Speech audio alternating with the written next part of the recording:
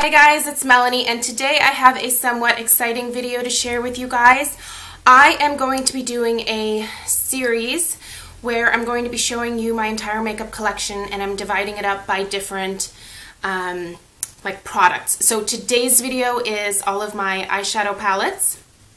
Now these are eyeshadow palettes that have more than four eyeshadows in them basically. So um, I'm going to be doing this throughout my entire collection, so I'm going to be showing you all of my blushes, all of my eyeshadow singles, all of my lip products, and um, face products, things of that nature. And the reason for doing this series is so that I can have it to look back and sort of reference because in the spring I'm going to be doing another big purge video and um, what my goal is in all of this is to continue to cycle out products that I'm not using, that I'm not in love with, and to be able to pass them on to um, my nieces who really do enjoy playing with makeup. Um, I've had a couple of people suggest that I donate to a local women's shelter, um, but I like being able to sanitize the products and give them to my nieces. Um, I know that they appreciate them and um, so I, I personally choose to do that. Um, I think it is wonderful when people do donate. Um, but for me, I think it's kind of a fun, um, it's a fun way for me to connect with both of my nieces. And I just, I like to see the smiles on their faces when they um, get giant bags of makeup from me. So um, that is what, um, what I'm going to be doing in the spring. So today's video is all of my eyeshadow palettes. I, am I'm, I'm looking around because I have them all in piles in front of me. So I'm trying to go as much as I can by brand and I'm going to start out with the pile um, here where I only have like one palette from this partic from a particular company and then the rest I have kind of stacks from different companies if that makes sense. So this video is going to be long so grab a cup of coffee now. Um, I'm not going to be doing swatches.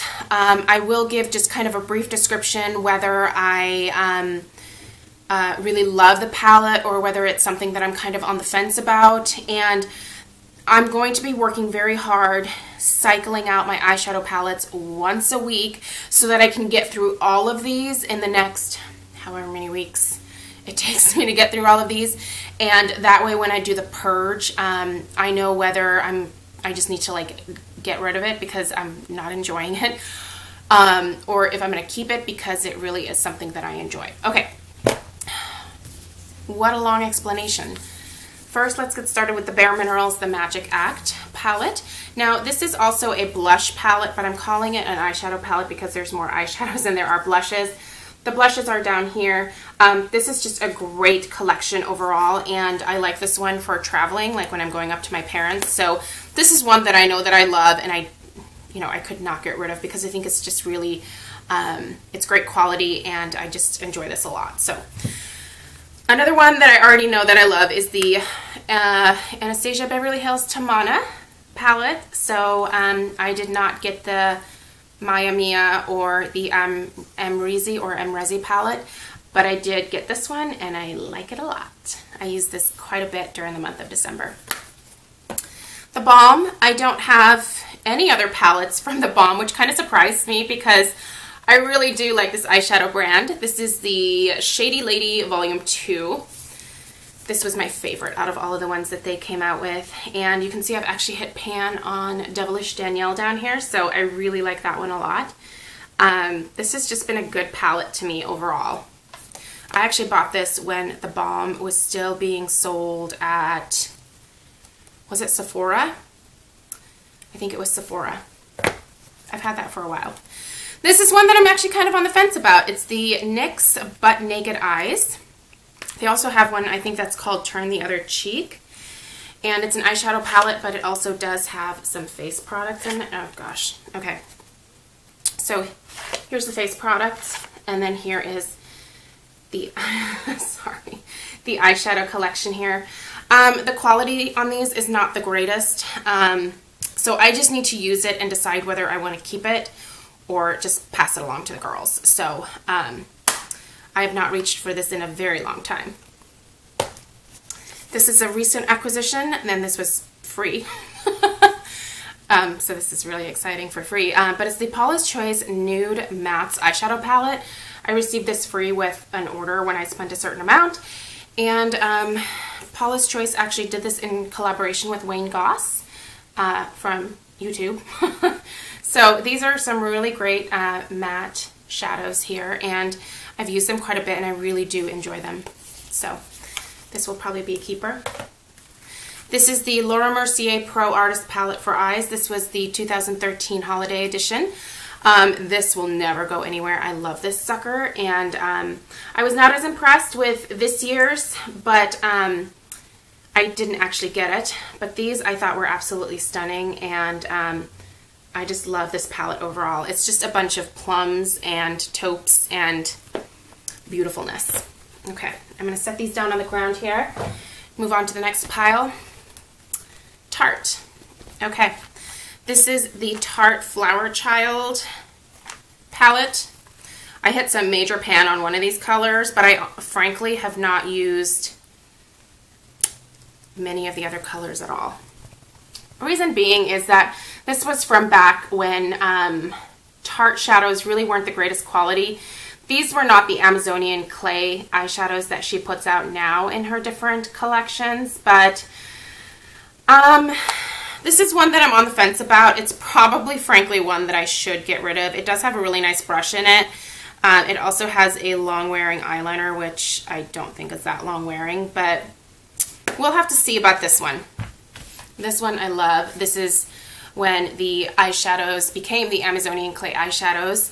Um, I think it was actually a couple of palettes before this particular one, but the quality is vastly improved. It also has two blushes, one of them being exposed, and the other one I think is Free Will.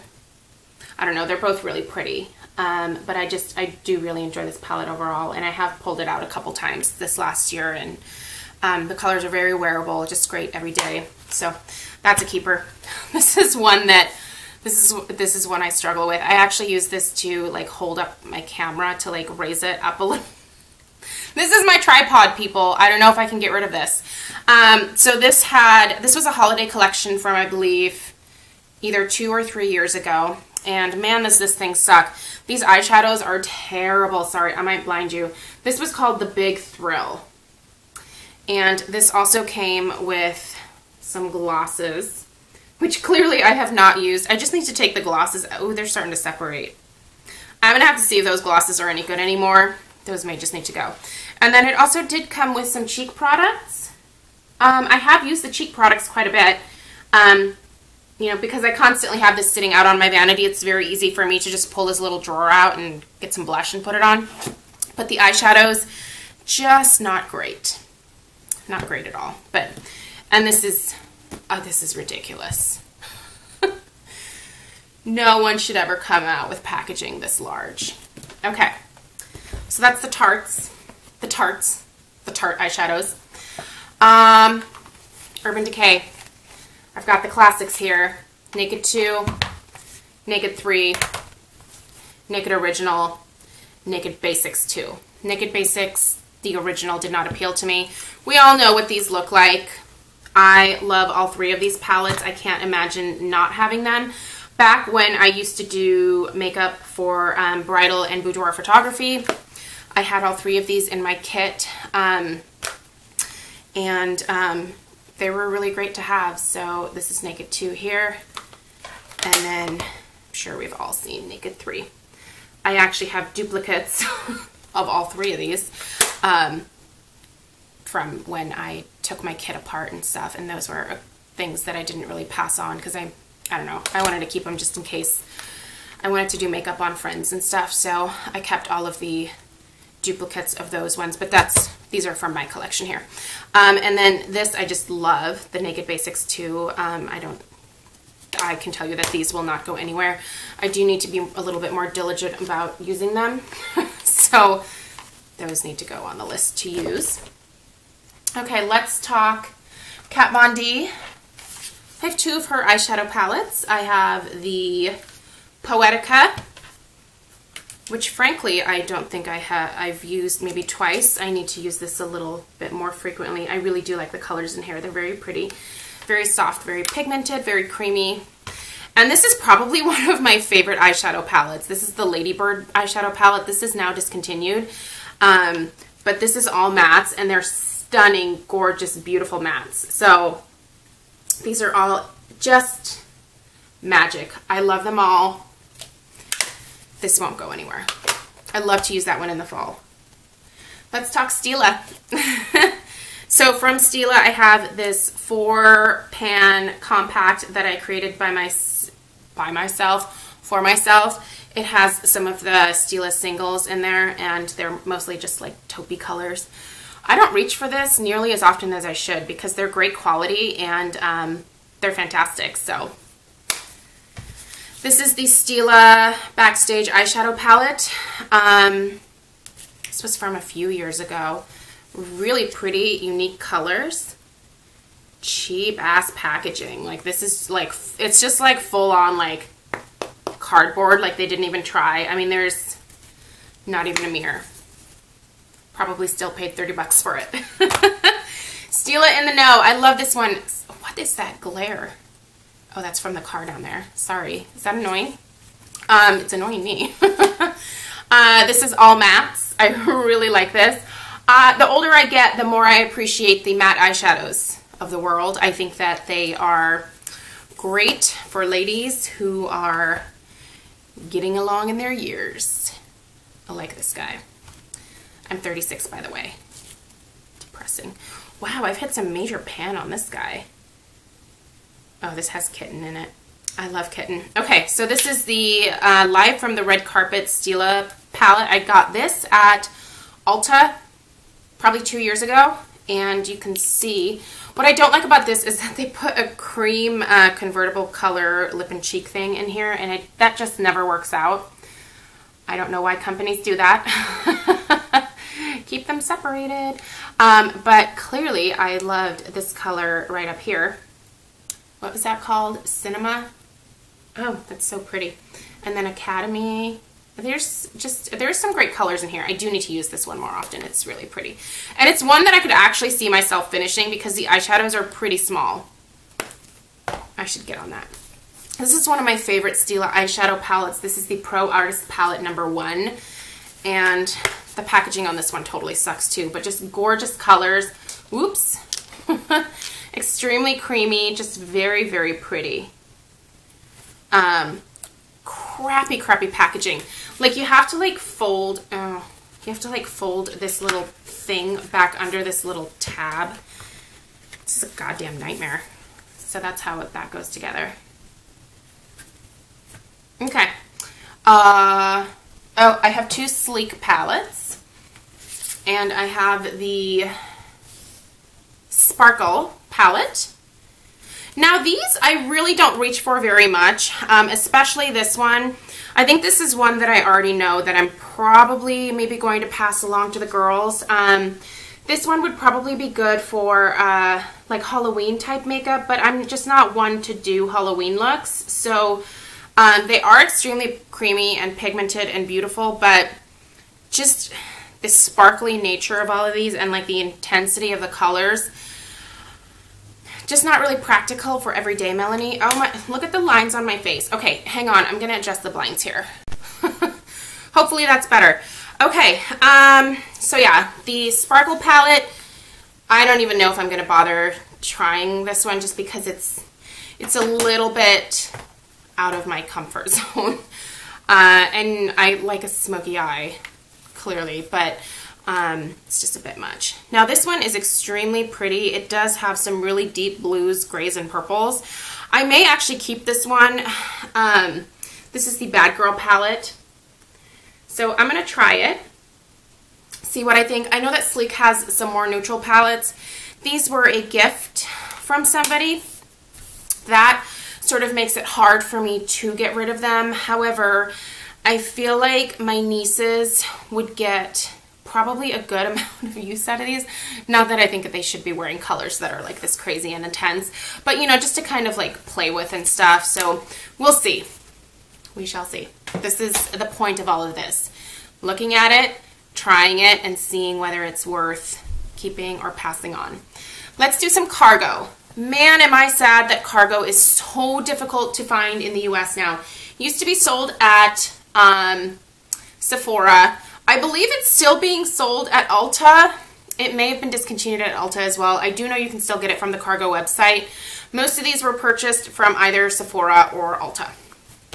I have the Cargo, this was just um, like a neutrals palette, the cool neutrals. So I really like that a lot. To actually pull that out. This is one I'm not sure about. This is the Plant Love from Targo from Cargo. Um, I got this at Ulta. I think it was like two, three years ago. I've hit massive pan on one of them, but frankly, the rest of them, the quality wasn't as good on these as some of their other eyeshadows. So, um, this is one that I'm pretty sure is going to end up being passed along. I mean, there's some really great neutrals in there, but I just don't, I don't love the formula of these. The Cargo Hands of Hope. These are nine Eastern inspired eyeshadows. So that's what that looks like. Very pretty. I need to use this one more often. Gorgeous colors in this one. The Cargo Runway Palette. This has blushes and er, blushes and uh, bronzers and eyeshadows. So you can see that this one actually has a full one of these quads in there, but it's more of like the grays. This is a very odd configuration of things here. Um, this one just always kind of baffled me. I mean, I was intrigued by it because there are some pretty colors in here, but nothing in here really makes sense together. So it's a little random, but it's fun. I do like this palette. I need to take this one out from time to time and use it. And this is the Cargo Lum Lumières Du Monde palette. That's so French. And this is what this looks like. It's basically cheeks, a cheek product in the middle and then eye products around. Very pretty. I need to use this. Oh, and it says um, light in a bunch of different languages. oh man, that sucks. Nothing was damaged. That, that's a miracle. anyway, wow, that scared the crap out of me. I thought that was to shatter one of these eyeshadows. Anyway, it says light in like different languages in the back. That did not matter to anyone. Okay. Uh, Too Faced. Let's talk Too Faced. Okay, uh, this was a 500 point perk from Sephora, and this is the Too Faced I Love palette. So basically just a bunch of different eyeshadows from their different um, uh, eyeshadow collections that came in these crazy boxes. So there you go. That's what that looks like. Um, I, I mean, this is a great little like sampler. That's not bad. It's small. Here is the Naked Eye from Too Faced. I really hated this packaging. So bulky, but pretty eyeshadows. I actually use this quite frequently um, in my professional kit as well. I had one for my kit, and um, I gave the one from my kit away. I also had the Smoky Eyes one. Um, these are actually pretty great. They're good quality. Um, so I, I don't see myself getting rid of this, even though the packaging just annoys the crap out of me chocolate bar. I have no interest in getting the semi-sweet. I just don't like the shades in the semi-sweet, but this one I love. This I just think is absolutely stunning. And I've used this quite a bit. And I like it. And it smells like chocolate. a few of my favorite things. I love this. This is eyeshadows and it is um, cheek products as well.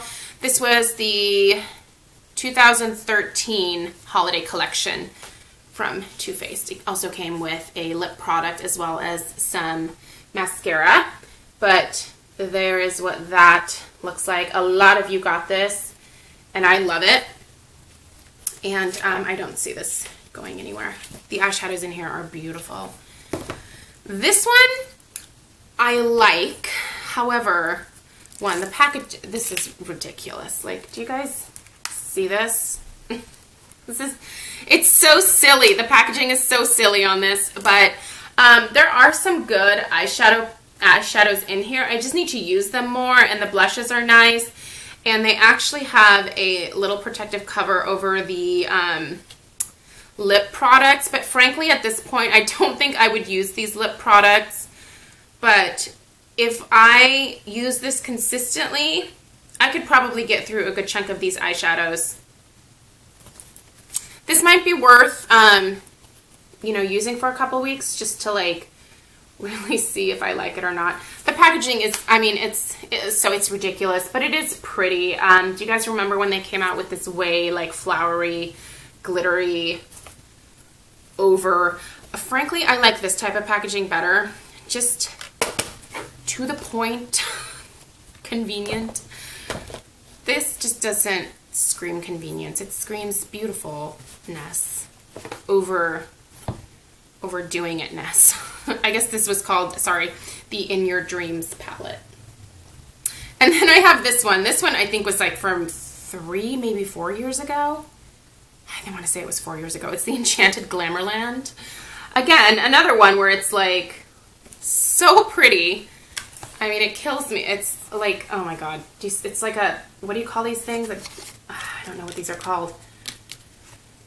Let me know down below if you know what the, these pop-up things are called. Stila has books like this. so there's two cheek products in here, the Sun Bunny bronzer and then a blush. Um, and then the fun part is that it, this pulls out. There were there was a cheek product as well as I believe a primer potion in here, but those have all been used up. But these are the eyeshadows. The eyeshadows really are good quality. Um, they're a little bit more out there.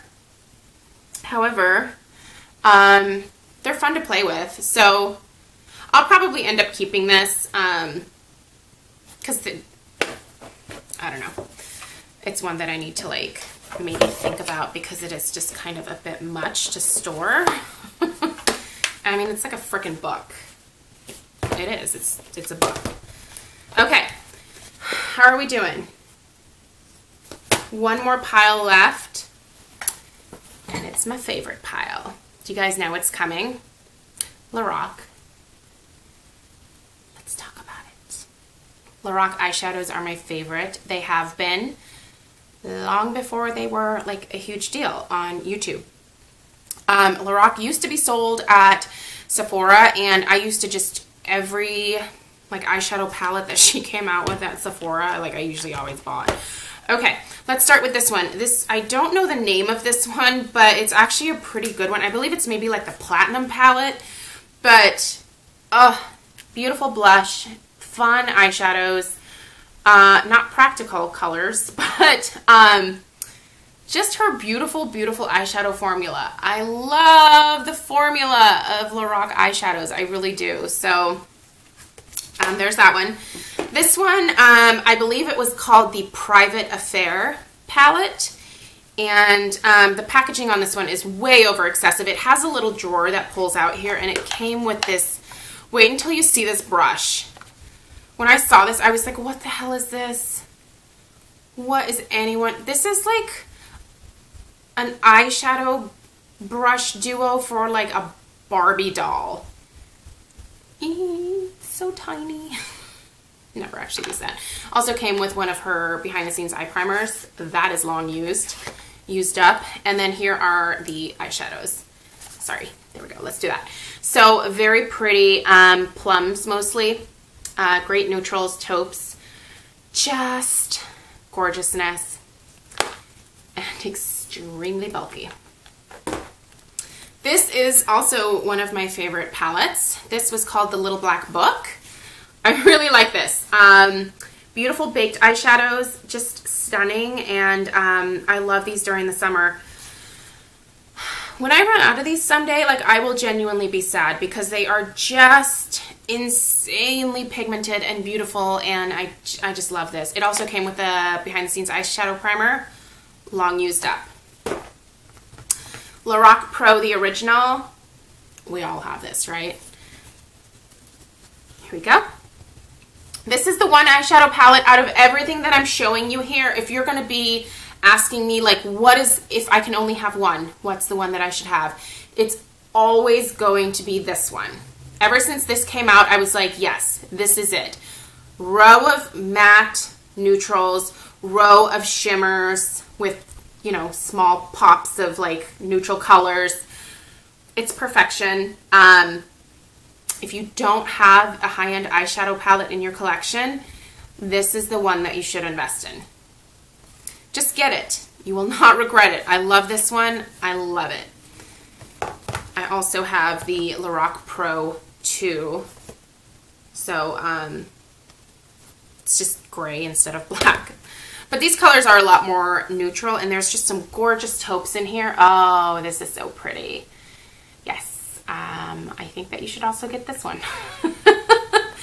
just kidding. I feel bad, like, saying that, but I really do think, like, these two together are super fun. Mm -hmm. You could just have yourself a really great collection with these two. I love those. Okay. Unzipped. This is like one of those palettes that like people were really excited about it when it first came out and then they were like, moving on. Because um, it's kind of boring in a way, but it's just a bunch of amazing rose gold eyeshadows and they're so pretty. Um, I really actually highly recommend seeking this one out. Like, I really do. I don't use it nearly as much as I should, but it is stunning.